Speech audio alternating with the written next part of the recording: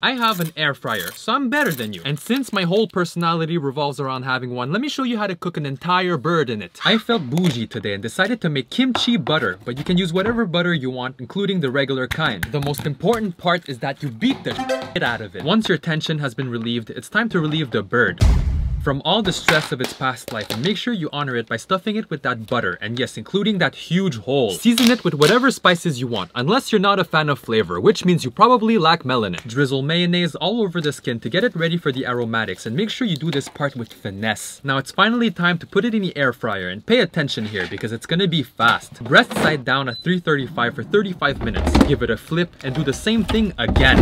Once the air fryer goes beep, you're done. A crispy and juicy chicken for you you and your friends for the holidays. You're welcome.